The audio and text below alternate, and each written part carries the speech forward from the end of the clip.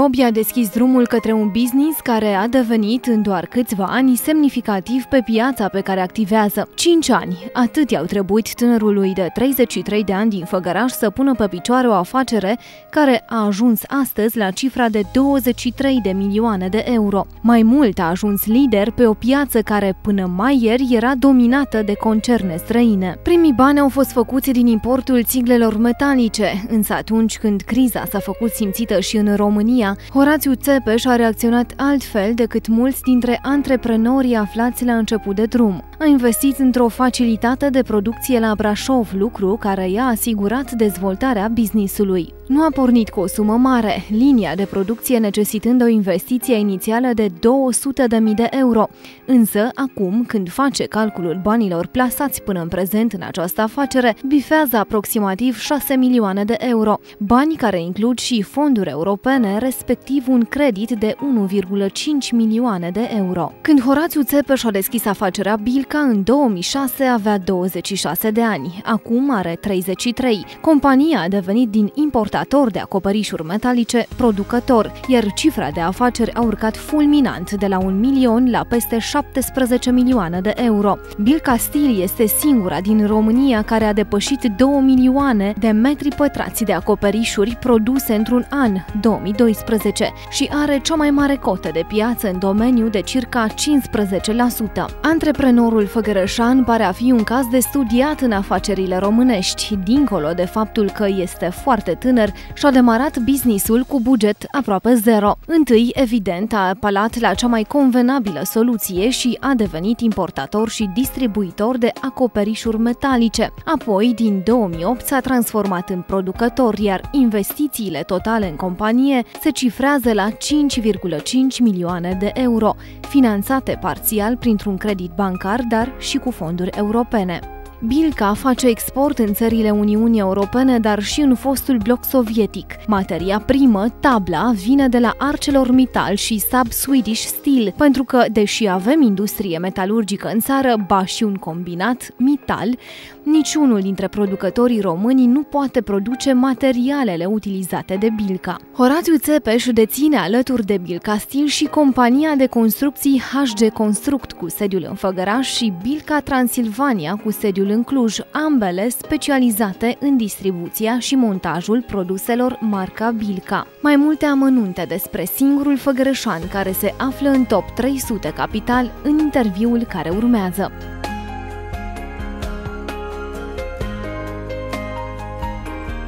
Cine este Horațiu Țepeș? Un, uh, un făgărășan, în primul rând, uh, plecat în 99 din, din oraș, imediat după ce am, după ce am terminat uh, liceul la, la Radu Negru. Am uh, plecat la facultate în Sibiu, am studiat până în 2004, iar în anul 5, uh, ca orice student în, în an terminal, am încercat să-mi găsesc un job. Mi-am depus câteva CV-uri în, în câteva companii din, din Sibiu, iar la al doilea interviu am, a fost la un concert slovac în industria metalurgică, în țiglă metalică și, și hale industriale. Ne-am înțeles rapid și am început munca. Mi-am dat seama din primele, din primele luni uh, de, de activitate, mi-am dat seama că trebuie să, uh, să muncesc, să am uh, caracter și, și voință. Da, sună frumos, dar când am adresat întrebarea cine este uh, Horațiu Țepeș, uh, mă așteptam să nu vorbiți doar de aspectul profesional. Uh, acesta este Horațiu Țepeș? Începusem cu, începusem cu începutul, începutul uh, recent. Uh, vreau să iau de la, de la început cum, uh, cum am început business-ul și o să trec și în plan, uh, în plan familial să vă, să vă spun de, de situație. Uh, continuând, uh, mi-am, uh, mi-am dat seama că trebuie să muncesc, mi-am uh, dat seama că ceea ce făcusem în școală nu e, nu e ceea, ce, ceea ce se întâmplă în mediul economic. În 2004, în sfârșit, de 2004 am ajuns în poziția de director comercial la, la acel concern slovac. Uh, iar în 2005, la o înțelegere cu patronul slovac, am ajuns să, să deschid propria firmă în Făgăraș. Era primul, primul oraș la care m-am, m-am gândit. Uh, asta și pentru că aveam un partener, o rudă mai îndepărtată. A mers totul foarte bine din, din, toate, din toate punctele de, de vedere. Uh, iar uh, în 2006 am, uh, a trebuit să mă mut de la Sibiu la Brașov pentru că venisem cu o idee în fața patronului slovac de a vinde accesorii pentru acoperișuri și trebuia să schimb Sibiu pentru că era o firmă total separată, dar în, în cadrul aceluiași, aceluiași concern. Și așa am ajuns să, să stau în Brașov. Faptul, în Brașov. Da, faptul că ați fost director comercial la o firmă, la un brand deja consacrat, v-a ajutat uh, în viitorul afacerilor pe care le-ați făcut? Afacerii pe care le-ați făcut? Da, cu siguranță. Experiența acumulată acolo, cu siguranță a fost un, un factor uh, uh, important. Se pune o întrebare tinerețea vă recomandă vorba aceea.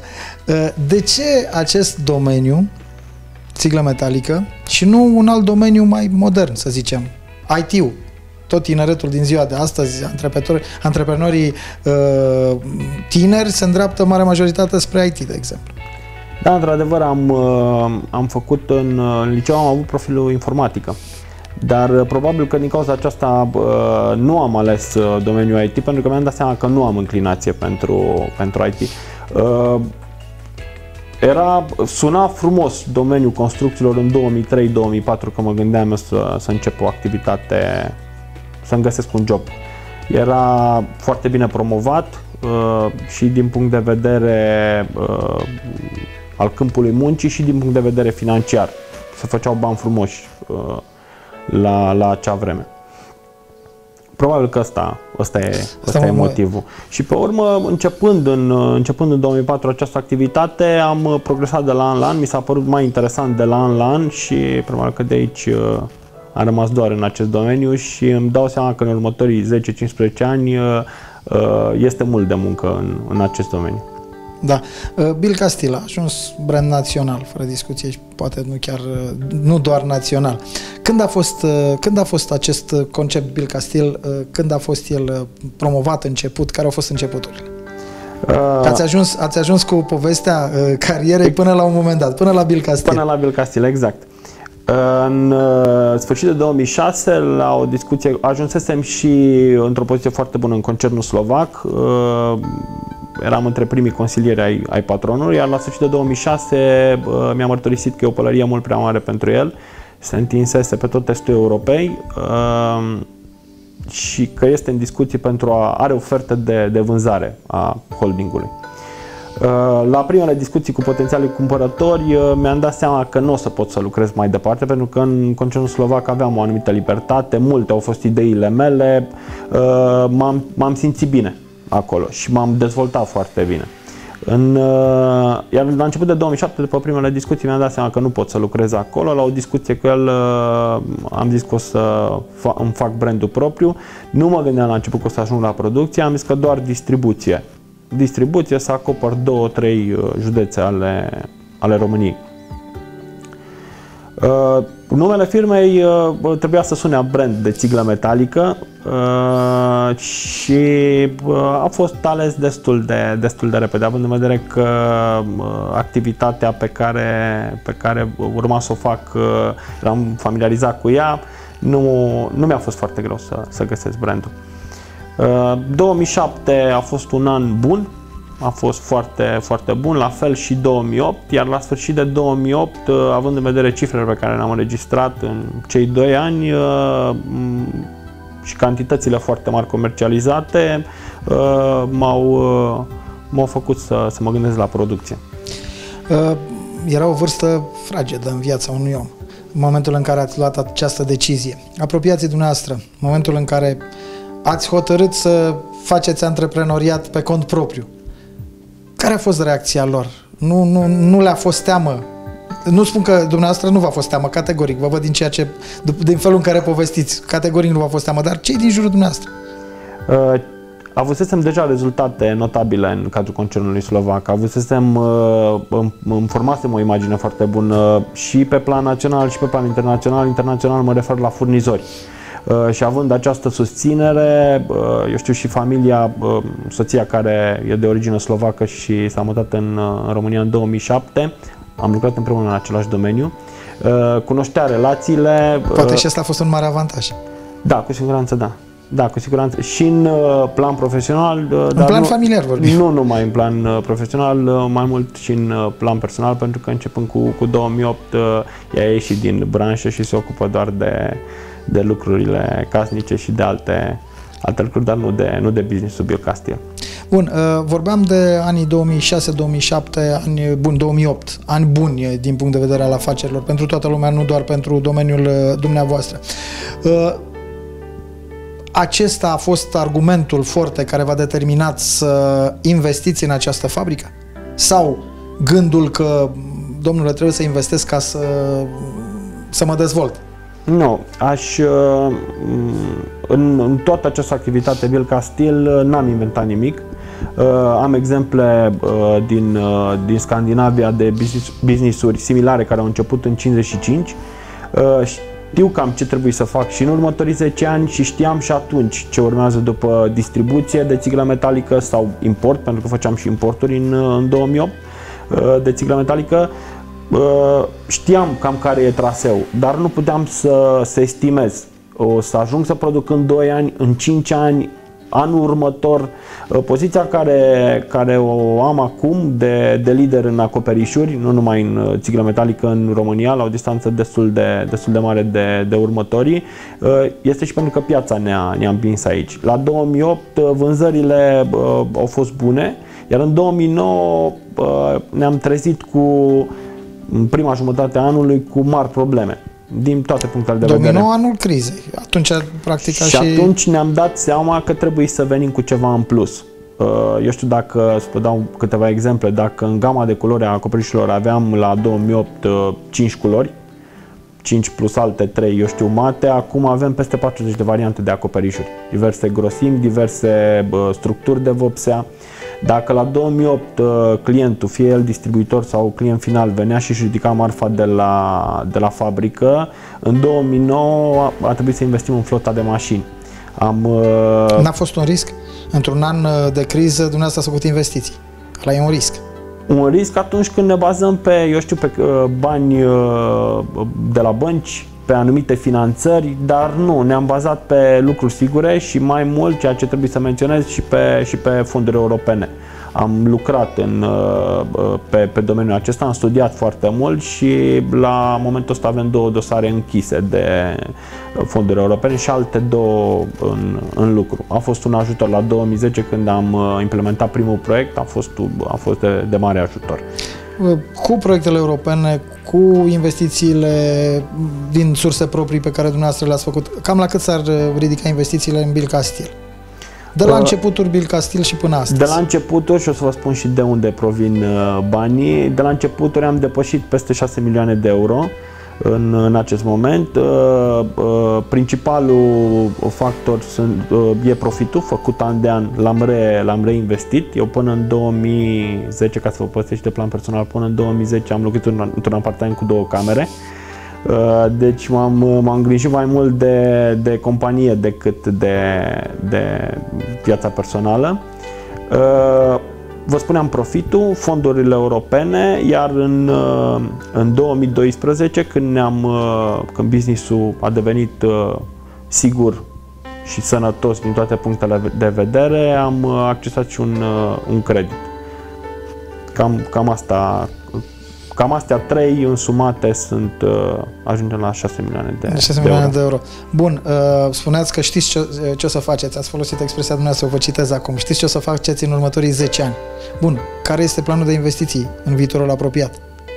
Dacă vorbim de anul următor, uh, anul acesta o să, anul trecut am avut 2.200.000 de metri pătrați de țiglă metalică, a fost un record absolut pentru România din toate timpurile. Vorbim de producție. De producție. Producție și comercializare.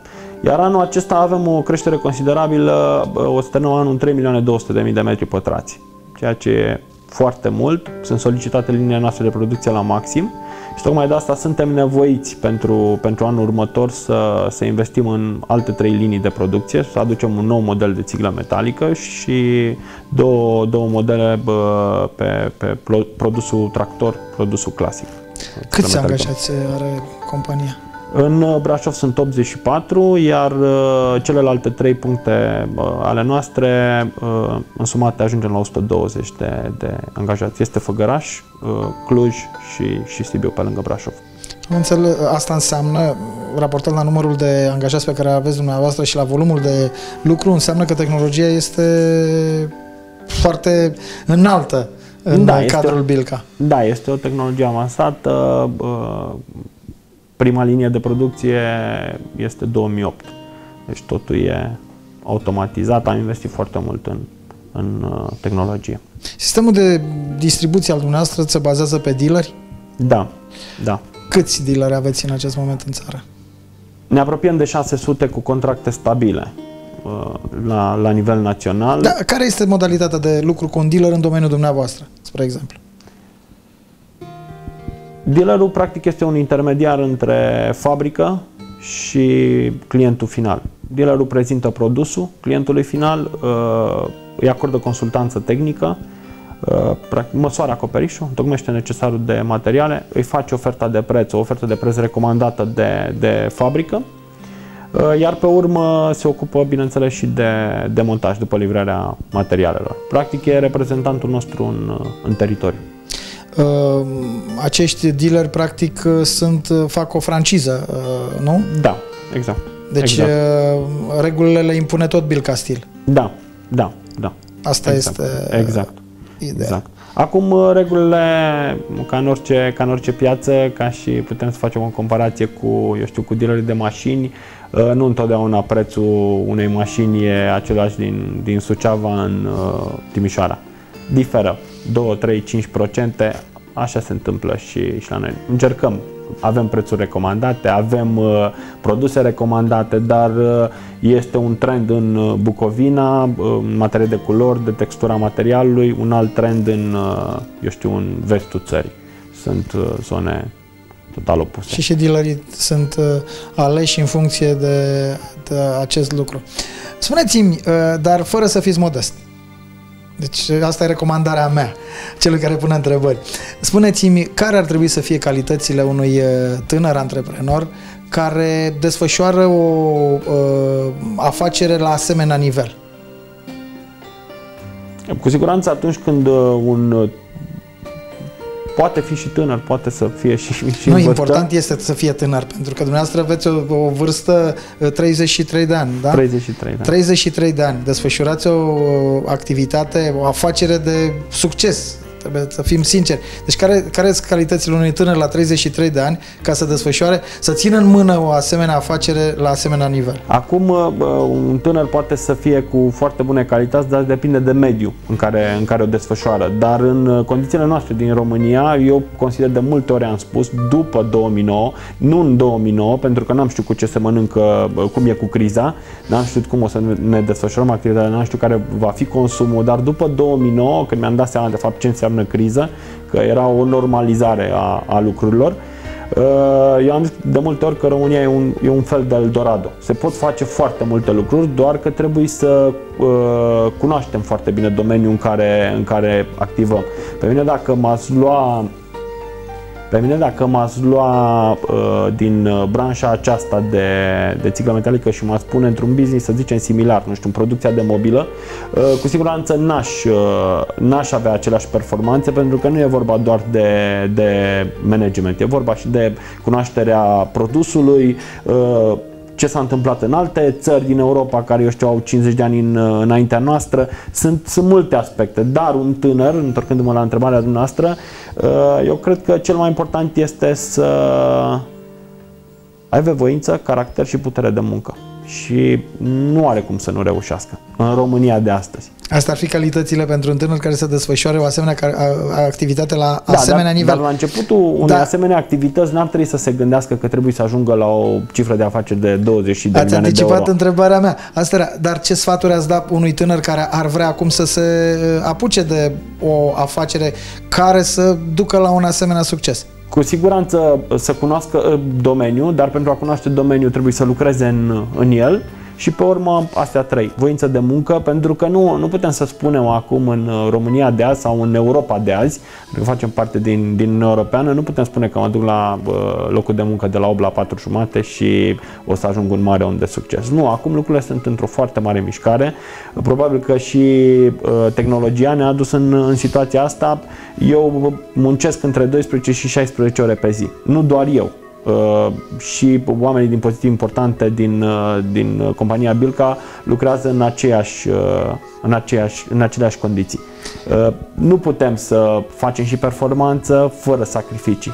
Deci trebuie să, trebuie să fim deschiși la, la, la sacrificii ca să putem să, să facem performanță. Uh, chiar dacă ați plecat uh, relativ uh, de tânăr din zona țării Făgărașului, dar legătura permanentă o aveți prieteni acolo, aveți rude, aveți tot ce trebuie. Care credeți că ar fi afacerile de succes în zona Făgărașului? Din punctul dumneavoastră de vedere. Dumneavoastră ați reușit. Dumneavoastră ați dovedit că se poate. Ce credeți că s-ar putea în zona țării Făgărașului? Cunoscând resursele. Ne-ar mai... Nu le cunosc foarte bine. Uh, ne-ar mai... Le bănuiți măcar. Da, nu le cunosc foarte bine, nu cunosc în detaliu, dar uh, cred că în zona Făgărașului, și vă pot da câteva exemple, o să, o să detaliez, cred că în zona Făgărașului ar trebui, uh, e foarte important, eu știu, o producție pentru un produs care să aibă desfacere la nivel național, nu doar pentru piața Făgărașului. Pentru că Piața Făgărașului e una restrânsă, limitată, uh, probabil că și de asta au plecat foarte mulți tineri în Italia și în Spania pentru că posibilitățile erau foarte mici în, uh, în Făgăraș. Uh, deci trebuie o desfacere la nivel național, aduci banii din, de la nivel național în, în zona Făgărașului și ușor, ușor crearea locurilor de muncă. E foarte frumos Făgărașul acum cum arată, e extraordinar totul, dar păcat că nu avem locuri de muncă acolo. Asta e Toată lumea marjează din zona Făgărașului pe dezvoltarea turismului. Ar putea exista o oportunitate de dezvoltare a turismului pentru tineri care să-și facă, să-și deschidă o afacere în zona Făgărașului și să nu fie nevoit să plece în alte părți, nu doar în altă țară, ci în alte părți ale țării. Dar ar merge, important este să avem cultura acestui business numit turism. Uh, avem uh, posibilități foarte mari. Uh, eu cred că într-un, dacă facem analiza unui sejur de șapte zile în zona Făgărașului, aici inclus în Sibiu, Brașov, avem, putem face un program foarte, foarte frumos. Dar aici trebuie investiții. Avem doar câteva hoteluri în zona Făgărașului și iarăși ne întoarcem la resursele financiare. E destul de, destul de greu. Dar se poate, se poate. Este o, este o, o, o variantă. Este o variantă foarte bună. Da, v-am adus un pic acum aproape de familie prin această discuție venind la Făgăra. Spuneți-mi, uh, familia, îmi spuneați dumneavoastră la începutul interviului nostru că soția v-a înțeles, ați avut și norocul uh, să lucreze uh, dânsa în, în același domeniu, dar cele 12-16 ore de lucru pe zi vă ține totuși departe de, de familie. Cum reacționează familia? Aveți două fete. Da, am, am două fetițe. Să vă trăiască, să vă bucurați mulțumesc, uh, mulțumesc. de ele. Uh, faptul că sunteți departe de familie, cum reacționează? Uh, eu cred că s-a obișnuit, având în vedere că așa am, așa a început și relația noastră, cred că s-a, s-a obișnuit, a înțeles foarte bine cum, cum stau lucrurile, pentru că e familiarizată cu, cu business-ul totul merge, avem o înțelegere perfectă în, în familie, totul merge de la sine, înțelege că, că business-ul îmi ia foarte mult timp și înțelege că business-ul e foarte important pentru, pentru viitorul, viitorul nostru și înțelege că îmi place foarte mult ceea ce, ceea ce fac și e una din, din ambițiile mele și din, din preocupările mele principală după familie, cu siguranță. Pen, pentru Horațiu Țepeș, Bill Castil înseamnă totul, nu are pasiuni. Aveți pasiuni? Am pasiuni, am pasiuni, nu, nu e totul, e un lucru important Bill Castil, dar am, am pasiuni, petrec, eu știu, merg de 3-4 ori pe an la pescuit, de 3-4 ori pe an la la schi, nu ratez meciurile de fotbal importante, ori în fața televizorului, ori pe stadion. Aici, eu știu, Arena Națională sau când sunt meciurile importante în afară, nu, nu le ratez nici pe astea, când timpul îmi permite. Și trebuie să spun eu telespectatorilor, chiar dacă dumneavoastră evitați să o spuneți, chiar și pe o echipă de Liga 5 din zona Făgărașului o ajutați. Da, așa este. Așa este. Asta și pentru că simt nevoia câteodată să, să fac ceva pentru, pentru zona Făgărașului. Uh, tocmai de asta uh, și compania HC Construct din, din Făgăraș a avut investiții importante acolo și încercăm să, să, să ridicăm ceea ce, ceea ce avem acolo, doar că e o companie care se adresează doar pieței uh, Făgărașului și deci suntem strânși, strânși legați. Acolo avem, uh, sunt peste 25 de angajați uh, acum, dar întorcându-mă la, la fotbal, da, Oltu Făgăraș uh, ajutăm și pentru că a fost începută de un, de un fost coleg de-al, de-al nostru care nu mai este printre noi. Bun, acum în final de emisiune aș vrea să vină din partea lui Horațiu Țepeș omul Făgărășanul aflat în top 300 capital, o urare pentru Făgărășeni. Această emisiune se difuzează în preajma sărbătorilor. Pot să, pot să le spun tuturor făgărășenilor uh, multă sănătate, putere de muncă și, și toate cele bune. Horațiu Țepeș este mulțumit de felul în care și-a putut dezvolta afacerea, dar mai ales de rezultatele celor câțiva ani de existență a acesteia. Prima producție a fost într-o hală de 4500 de metri pătrați, iar astăzi învelitorile metalice Bilca se produc pe o suprafață de trei ori mai mare, aflată în incinta fostei fabrici Tractorul Brașov. Mai mult a ajuns de la 2 angajați în 2008 la 120 în 2013 și nu se va limita la atât. Are planuri mari pentru compania sa, dar și pentru viața personală. Planurile tânărului om de afaceri includ și pescuitul sau vacanțele cu familia. Acesta este Horațiu Țepeș, un tânăr făgărășan care a reușit.